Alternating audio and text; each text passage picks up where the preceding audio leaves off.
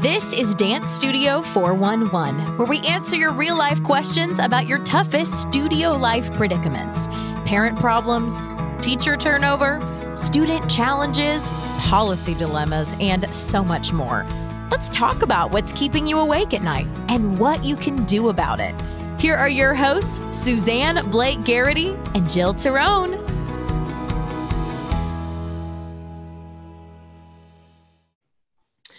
Welcome to this episode of our Dance Studio 411 podcast. And today, Jill and I are digging into how to be a great dance boss, all the leadership and management that comes with running a dance studio, right, Jill? Yeah, it's such an important topic, Suzanne. You know, we ask a lot of studio owners, you know, what's their biggest challenge with running a studio? And at the top of the list often comes, there's so much to do. I don't know what to do first and I ought to just do it all myself because delegating is impossible and you know I'll just get it done. And I think it's easy to want to take control of everything, right? As the as the owner and the dance boss, you're like, I've got this. I am the cleaning lady. I am the uh, bookkeeper. I am the recital planner. And I am the to doer of all the things. But that's a recipe for disaster, right, Joe? Oh gosh, such a recipe for disaster, but so easy to get caught up in that. It is so easy to go to that place in our head that says, hey, we can do this faster. We can do it better. We can do it more.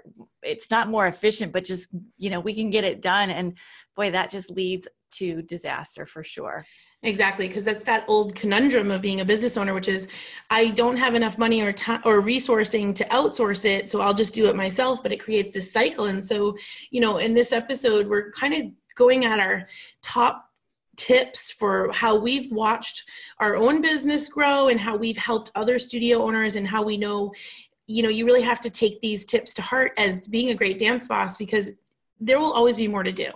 It's never going to get like easier. It's going to continue to get more intense. And so keeping these tips we're about to share at you know in front of mind as you plan ahead will really help you. So I think the first thing Jill is that that gets right into, you know, do you really know how much your time is worth as an owner because you know most many of you guys are working for free you're not taking a paycheck so you have no idea what your time is worth so you have a great tip on this yeah, it's so easy to get caught up in that cycle of just doing more and more and more. And before you know it, you're working, you know, more than 40 hours a week, maybe some even 50, 60, 70 hours a week. And one of the things that we worked on this summer when we were doing some of our, our seminars is actually figuring out what your time is worth. So there's a quick formula I'd love to go over, and it basically shows you based on an average salaried employee. So we all know that we're not because we flex our hours, we tend to work more than this, but we'll just give a good guideline. So based on the average of a salaried employee working 40 hours a week times 52 weeks a year, so we'll we'll just average that out, it comes out to 2080 hours. So 2080. And to, de- to determine an hourly wage based on this, you divide your annual salary by that 2,080 hours. So now we can kind of insert a little joke here about, yeah, well, what annual right. salary, right? Um, so let's pretend, or if you are taking your annual sal- salary, use what you're drawing or what you hope to draw out of your business, right? So if you make $75,000 a year, or that's your goal, or that's what you'd like to bring home and take out of the business, you divide that 75,000 by 2,080. That's that the calculation of the hours, 40 hours by 52 weeks. And that comes out to $36.06. So right about $36. That would be your hourly wage if you were drawing $75,000 a year and working um, like a full like a full, working full that full 40 yeah. 40 hours a week exactly. And then if we wanted to do it with 50 so $50000 divided by the 2080 hourly wage is 2403 so right about $24 and then uh, dropping down one more bracket $35000 divided by 2080 the hourly wage is $16.82 so you can see if you're if you know you're working 50 hours take 50 hours times 52 weeks a year and divide that into what you're either drawing or what you'd hope to draw and you're going to see some significant numbers so play around with that but that's a good place to start is to literally figure out how much your time is worth. Because, Suzanne, I'm going to turn this back to you then. You have a great tip. If you know what your hourly wage is or you know what you're worth, then it becomes very easy to say, yes, I'm going to delegate this out at X amount of dollars per hour to somebody that knows what they're doing. Yeah. So if you find out, I mean, some some studio owners, they are eyes open wide and they're like, wow, I'm making four dollars an hour on average. Yeah and that's that's a hard pill to swallow but we were we are here to help you move that number up but also if you can outsource a task for less than your hourly wage you should do that so that comes to mind things like cleaning uh, filing papers organizing closets uh, uh, there's a lot of things that you're doing that could be either outsourced at a very low rate um, or, or done more efficiently from a even an automated resource that costs less than an hourly wage. I mean, sometimes we overstep that some things can be automated. Oh, definitely. Or even some things at home. So you're mentioning about cleaning, but even not so much for the studio. Maybe it's time to get somebody to help you clean at home or order groceries in and pay that little bit of an extra fee to do that. Those are also time saving and kind of energy saving tools as well once you realize that it might be worth the the payoff with what you're making versus what you would pay out for that service. Exactly. So our first tip of being a great dance boss, a empowered leader and manager of your studios, you've got to know what your time is worth and what your value is. Absolutely. I think it's yeah, that's the perfect place to start for this this podcast for sure. Exactly. Mm-hmm. So, you know, once you know what that's worth uh, your time, let's talk about there is the multitude of projects we have in motion as a studio owner and I think that back to our our love of control because we're mm-hmm. great at what we do. Don't mistake that. You're great at what you do but doing it all again is too much.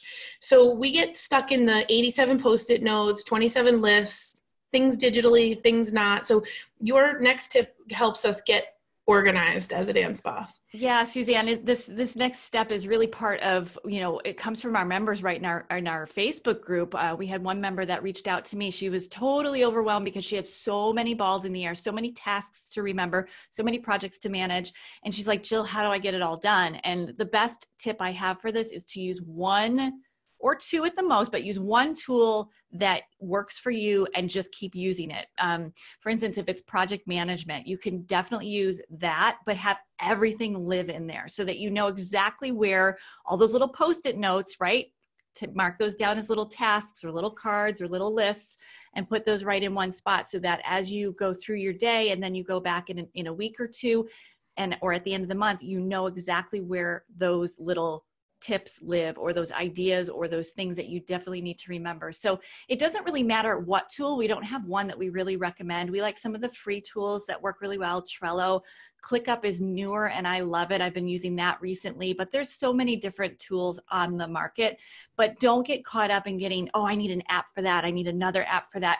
Find one that you really love and use it. I use I use one project management or try to with everything. And then I have a, a, a just a regular old notebook that mm-hmm. I kind of brain dump and I write all my stuff out. And then I'm able to go in and put that in and set some deadlines and tasks too. So it doesn't really matter what the project management is or the tool. There's there's all the different listing tools that you can make a list and all the tasks that go along with your list but just use it. Think of it as your boss. I heard somebody give this great tip. You wouldn't go to work and sit down at your desk if you had a job like that and not check in with your boss and see what's on the list for today.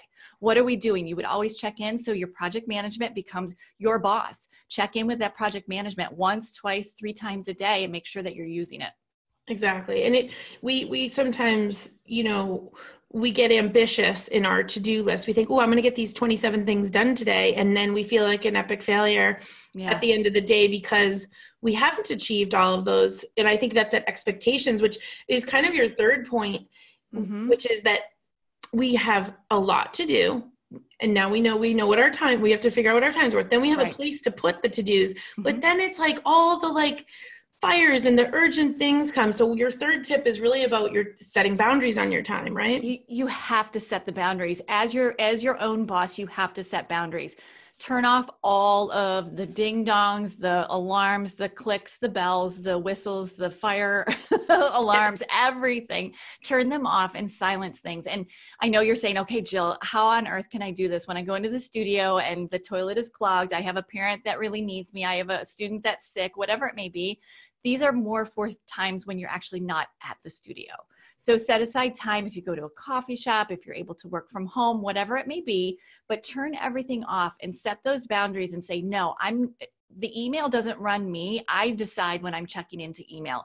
I decide when I'm checking into Messenger. I decide when I'm going to be doing uh, these certain things. So that's a really good way to do it. And you can set aside a very small chunk of time, right? Set aside one hour, turn off everything, and then chunk something that you want to do. Maybe it's working on a schedule for the or your recital show order or anything that needs a good batch of time write it down and then just sit down and get it done it's really exactly. like it's that's as simple as that just get it done exactly I, we were just working with some studio owners in, a, in an in-person event and we and i mm-hmm. reiterated to them that time management is a myth it is really energy management you yeah. have to you have to be the one that says this is what i'm working on today. And i, I mean if, if, anybody knows what it feels like to have two uninterrupted hours to get things done you can get an amazing amount of work done in that time. So it's like focus deep and get it done and you're the one that's got to set the boundaries not no one else everyone else will find you if you let them find you.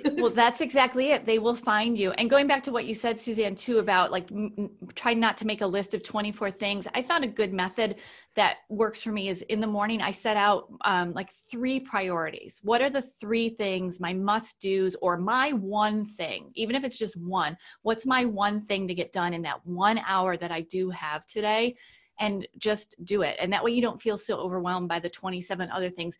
And for sure, shut off that big list of 27 other items when you're working on your one big thing or those top three things that you have to get done in the day. Exactly. And that's what even at our own studio, we try to look ahead into the week and say, at the end of the week, what has to happen for us to feel like this was a successful week? And then mm-hmm. everything else has to not be as much of a priority as you know because at the studio it feels like a cycle of the you know the week of class right? It's like it's for some of you it's the monday to saturday. Some of you it's the monday to sunday or however your week in your brain focuses. You know what's the one thing that has to happen this week for you to feel like this week was a success and everything else gets shut off until that happens? So good tip. I love that. Yeah that's great. Um, which actually kind of leads into you know being a great dance boss and being a great leader and manager of your studio is the going back to embracing the beginner mind all the time. Um, you and I teach on this often, Jill. Mm-hmm. It's something we love as innately teachers ourselves. Um, that the world we're living in as studio owners and, and business owners is constantly changing. And sometimes we'll have people come up to us and say, Well, I'm a veteran studio owner. So, you know, I don't need that. And then we're like, mm, No, everybody needs to be taking what you like. A, you like to do a certain thing every day. You have a best practice on this beginner mind method. I love to get up and read for even if it's just 15 minutes in the morning. I don't take hours to do it for sure. And I did it this morning. I picked up a different book because I said, Oh, I, I really just need a different mindset. I really want to switch gears here.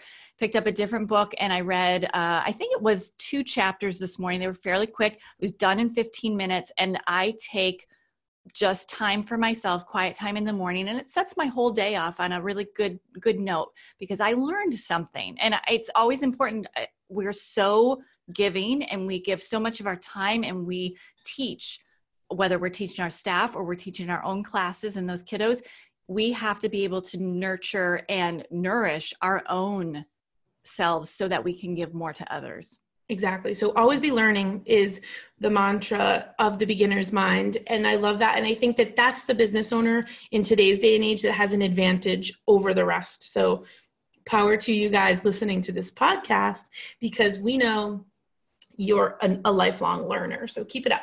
Absolutely. Um, and then I like this next one. If we're ready to go into this one, Suzanne, mm-hmm. this is something that you do. And I think it's so great. So talk about this next little point that we have about how you like to wrap up your week or start your week. Exactly. So one of the pitfalls of running a dance studio and or being you know someone in the creative process is that there's a lot of undone things. We're, we're constantly a, with a project in motion that doesn't feel done whether it's a recital a show choreography the season we're in. And so our subconscious gets really fatigued by this open loop. And so every monday you you might find a different day that when you feel like your week is ending or starting i like a monday morning is i write down these 10 wins 10 wins or completions things that happened that are completed. And actually writing them down allows your subconscious to process it as a completion even if it's something in the middle of the open loop. So uh, for example maybe you placed a costume order this week or you sent an email about your you know in studio happenings or you had dinner with your family. Sometimes for me as i sat and watched my daughter's you know game on the weekend. It's, it depends on what it is for you but it's really key to take a day a weekly practice to write down these 10 completed things because a lot of times what happens jill when we consult with studio owners they come to us at the end of the recital and they feel empty and burnt out and completely exhausted because they're like, well, was that it?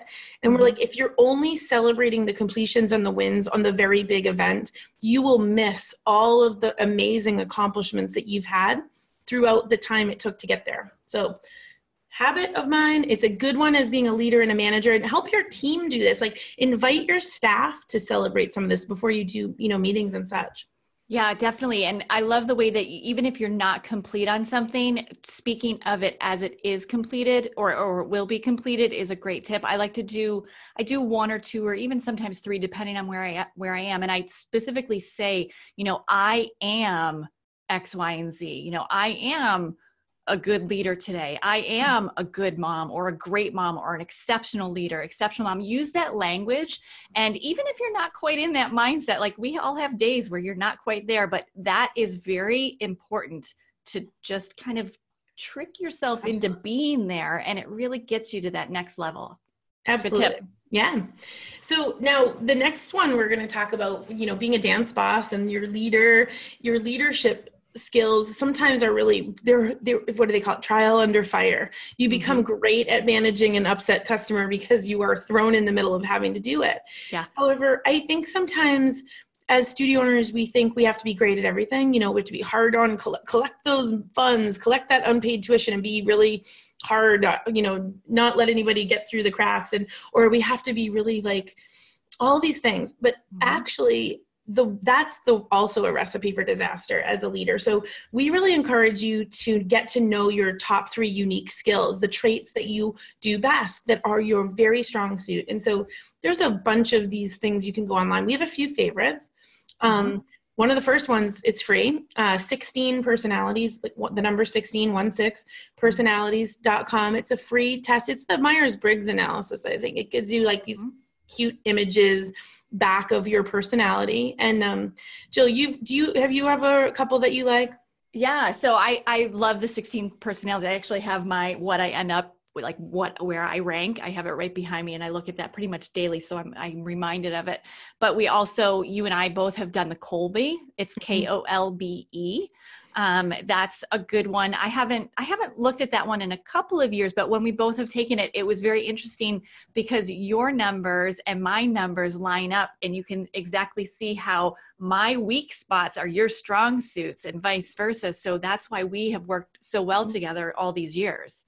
Exactly. So the Kolbe, it's the Kolbe a index. You can google it. It's quite it's about a $50 online test. It's mm-hmm. m- amazing in terms of yourself or your team. You know a lot of the coaching we do with student owners are like my office manager just doesn't do xyz or you get frustrated by this one person and suddenly when you have you and your team do this you're like oh okay I'd be better off to be the one to start the email and then have someone on my team edit the email because mm-hmm. they're better at the finishing part and I'm better at the starting. So these are the things, right? Yeah, and that's once your eyes are open to that, it, it really gives you a, a lot of insight on where you can focus your energy and have your faculty and staff rise uh, on what they excel in rather than trying to get them to fit into something that they're really just in, innately not good at Exactly. Like, and I'm Mm-hmm. I'm a firm believer that you can train certain skills, but there's other innate traits that are are are the they're just going to lead the way first. So Mhm. it's not to say that people can't change. It's just that if someone is great with people, don't put them behind a desk crunching numbers. They should be out with people. You know, let reverse that. If someone Yeah. is just like, I am not good with people, it's not my strength. I'm so good at managing spreadsheets. I love to put things in alphabetical order. Then they should be doing those tasks. Let's try to line the talent with the task line the talent with the task it's a beautiful thing and when you get a breakthrough on this as a business owner your efficiency levels go sky high and your the money you're spending on people doing things gets way more um, you know effective so Absolutely. So yeah, and if you have a favorite um, personality test or indicator of your skills, let us know. But those are those are the top two that we really recommend and have used ourselves very well. yeah i think the last one strengths finder you can right. google that one they have one of those for kids too so you know if you have teenagers at home and you want to have them do it so yeah check it out and i mean lastly jill as we, this episode you know again the focus is on you're the boss right like you're the one who lives and breathes this business it Mhm. literally is you and so what we notice about some of our members and our studio owners become contact is they're like, I wish wish the other people on my team would take the business as serious as, as I do, or why aren't Mhm. they working so hard? Don't they see why or how the bills get paid? I think you and I both know you have to be your biggest fan and your best Mhm. cheerleader. Yeah, and you'll be lucky enough to definitely find people who take your business as seriously as you do. I've I've had people work with me and for me that have definitely done that, and I've had the other end of the spectrum too, where they really just come to work and they don't care. Um, it's it's where you have to dig deep and you have to wake up every day, living your mission statement, motivating people. Um, it's it's a really good thing to just get into that mindset of nobody's going to do your business like you would do because it's you. You have to tell them where you are in your mindset where your your expectations are. And as soon as you do that that actually gives them something to work with. So if you set the expectations and you let them know exactly where they need to be when they need to be there and what they ha- need to have to to be prepared to do that then they'll rise to the occasion. But if you're just ex- assuming that they're going to come in prepared you know let's let's not go there because that's going to help that's going to put you on a spiral of you know uh, down, downfall for for everybody Right. And you've done great, great trainings on this. We have past podcasts, but when you genuinely embody the why behind this business and you share it confidently and proudly with your team, they will see why you're working so hard and they will get behind that. And so that's going to come through. And so I think if there's anything that we want this episode to reinforce is that you're the asset to the business. And when you work on you and you invest in you and you become you know that open-minded ongoing leader and leverage your strengths and know what you're worth oh my gosh you're unstoppable. It's just there's no there's no two ways about it. And it can cross over into you helping your team do the same. And then that's when like you said when when you're when you leverage each other's strengths right yeah that's when the magic happens absolutely it's a, it's a great recipe you put all those ingredients in and look at what you can create with that i love that Exactly. Well, you know, there's a probably a longer list, so we love to hear from our we love to hear from our listeners. I mean, if you guys you're listening to this podcast, if you have, you know, other tips or future episodes you want, you know, reach out to us here, right, Jill? Where do they go? Yeah, definitely. So if you go to dancestudio411.com, you'll see all of our episodes there. And there is a form right on the homepage that says to submit your ideas to us. And that's how you can contact us. Yeah, awesome. Well, thanks, guys. Until our next episode, keeping the amazing dance boss that we know you are. And um, yeah, thanks for all you do for dance.